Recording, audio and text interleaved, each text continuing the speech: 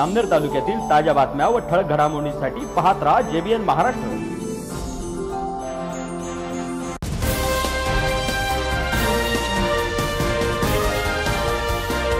आज सर्व जमलेले इथे जे असतील हे सर्व जामनेर मागील काही दोन महिने अगोदर जामनेर येथे जामनेर पोलीस स्टेशन येथे जे काही अ, जे काही दगडफेक झाली होती त्या केसमध्ये अटक झालेले जे व्यक्ती होते त्यांच्यावर जो गुन्हा दाखल झाला होता त्याच्यामध्ये हे मुलं त्या ठिकाणी मध्ये गेलं त्यांना अटक करण्यात आली होती.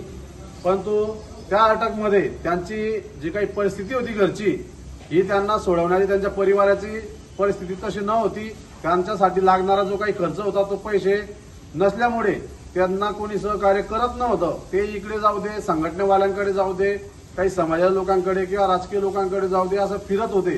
परंतु त्यांना अगोदर कोणीच मदत केली नाही. मग दोन तारखेच्या आसपास त्यां- त्यांच्या परिवारातल्या लोकांनी संघटनेच्या लोकांशी स- संपर्क केला आणि संपर्क केल्यानंतर संघटनेच्या लोकांनी दोन तारखेला वकीलपत्र सबमिट केलं. त्याच्यानंतर पण संघटनेकडेही पैसा नव्हता. मग संघटनेच्या लोकांनी ती हे क- करून माननीय नामदार गिरीश भाऊ महाजन यांच्याशी त्यांना विनंती केली की बाबा आमच्या लोकांकडे एवढा पैसा नाही आहे त्यांना सोडवण्यासाठी. तर तुम्ही काहीतरी सहकार्य होईल तेवढं करा. आणि जित जितू भाऊ जितू काका विलास राजपूत तसेच चंदूअण्णा श्रीराम नाना यांनी सगळ्यांनी सहकार्य केलं. आणि या लोकांच्या परिवाराला समोर घेऊन त्यांना सांगितलं की तुम्हाला जे काही सहकार्य लागेल ते आम्ही आमच्या मार्फत सहकार्य करू. त्यांच्या सहकार्याने गिरीश भाऊ यांच्या मदतीने हे सर्व मुलांना जो काही खर्च लागला तो गिरीश भाऊ यांनी केलेला आहे. तर आम्ही सर्व समाजाच्या वतीने आणि यांच्या परिवाराच्या वतीने गिरीश भाऊ महाजन यांचे आम्ही खूप खूप आभार मानतो.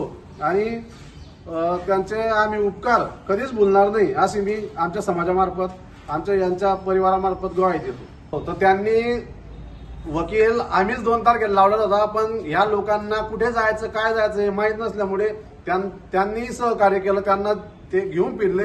परंतु वकील फक्त आमच्या संघटनेमार्फत लावल्या गेलेले होते. त्या वकिलांचे वकीलपत्र त्यांना जे आता जे लोक घरी रिलीज झाले आहेत त्यांच्यावर जामीनपत्रावर याच वकिलांची सही आहे. परंतु त्या लोकांनी सहकार्य केलं होतं म्हणून यांना असं वाटलं की या लोकांनी आपलं सहकार्य केलं म्हणून यांच्यासोबत आपण जाऊया.